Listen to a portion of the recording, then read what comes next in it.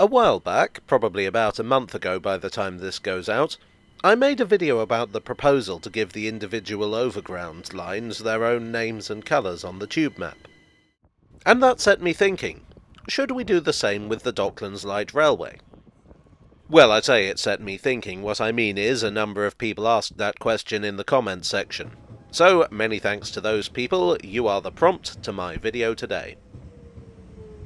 Like the Overground, the DLR is something that started out very basic, but has become more complex over time.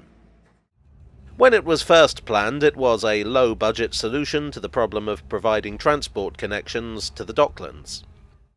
To give you an idea of how low budget, it was budgeted at £77 million, which, adjusting for inflation, comes to just over £206 million. That would buy less than three trains on the modern system. Initially it was pretty simple, a line from Island Gardens to Tower Gateway in Stratford. Since then it's grown more and more complex with extensions to Bank, Beckton, Lewisham, London City Airport, Woolwich Arsenal, and Stratford International. What had once been a bare minimum rail service has become a heavily used metro network and an important part of London's economy. With complexity comes confusion. There are seven termini. At present, there are three lines. One is from Tower Gateway to Beckton.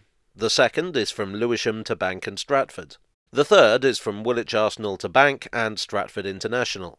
I should clarify that I'm going by TfL's map of the DLR here. We could argue that there are in fact five lines because two of the lines branch off in two directions, ending up in very different parts of East London. This can be confusing. You can't get a direct train from Bank to Stratford International, even though they're nominally on the same line. You can't go from Tower Gateway to Woolwich Arsenal without changing trains. But on the tube map, the lines are all the same colour, a teal outline. Should they get different colours? Should they get separate names? While it's only one colour on the tube map, the DLR itself has always had separate maps that make things a little clearer. The first maps portrayed the line from Island Gardens to Stratford in red and from Island Gardens to Tower Gateway in green. These days they use different shades of sort of greeny blue or bluey green or turquoise, aquamarine, teal, whatever you want to call it. These maps are only displayed on the DLR itself and in media specifically related to the DLR. So that, in a sense, is the argument for. The DLR does have separate lines, and those lines have always been officially acknowledged. But I think there's also a strong argument against. The biggest argument is geographical. The overground is, in some ways, more of a category than a coherent system. It consists of railway lines in and around London, now operated by Transport for London, that may or may not be connected. There are 113 stations, and the knowledge that your destination is on the overground is of somewhat limited use. So it does make sense to distinguish those lines. The DLR, on the other hand, is a much smaller network. It consists of 45 stations, often spaced very closely together, on three lines. None of those three lines are completely separate from each other, and all of them share some track with the others.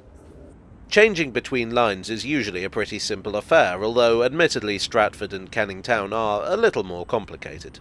The service is very frequent. If you should happen to make a mistake, it's easy to correct.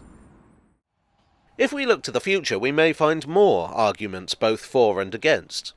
As I say, the DLR has grown a great deal over the past three and a half decades, and the chances are that it will continue to grow in the future. I think there's a strong argument for getting Thamesmead, Dagenham Dock, and Barking Riverside on the DLR, and all three have been proposed as possible extensions at various times.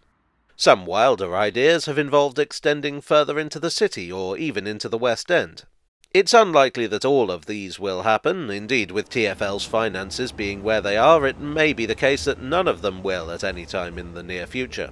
But let's imagine that they did. The network would become much larger and more sprawling, and I think then you would have more of an argument for splitting the lines up. However, there is a strong possibility that the DLR network is going to shrink slightly. Tower Gateway is a bit of an anomaly. It was the city terminus for the entire DLR, but now the better connected bank is the favourite, and only Beckton trains run from Tower Gateway. As it is the only station on its little branch of the DLR, and it's in the way of potential expansion of Fenchurch Street, its closure has been seriously proposed, in which case all city trains would terminate at Bank. If this happens, it will become even harder to classify the different lines as separate entities. Rather, I think we'll have a situation more akin to some of the underground lines, which might branch off in different directions, but are still considered the same line. So overall, based on the size of the network, the nature of its services, and the likely future events that will affect it in the future, I don't think there is a strong argument to separate the lines of the DLR. But of course, the DLR, the rail network, and London itself continue to evolve. So who knows what the future may bring.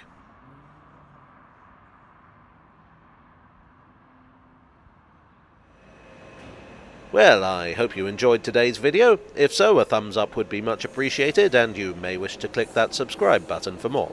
I'd be interested to hear your thoughts. Do you agree with my conclusion, or do you think there's more to the argument for separating the lines? I don't live in the Docklands, and I'm only a fairly intermittent user of the network, so other people's thoughts would be most welcome. I would like to thank my donors on Ko-fi, on Patreon, and here on YouTube for your always generous support. You are the Beckton to my Tower Gateway. And I'll see you all again very soon. Cheerio.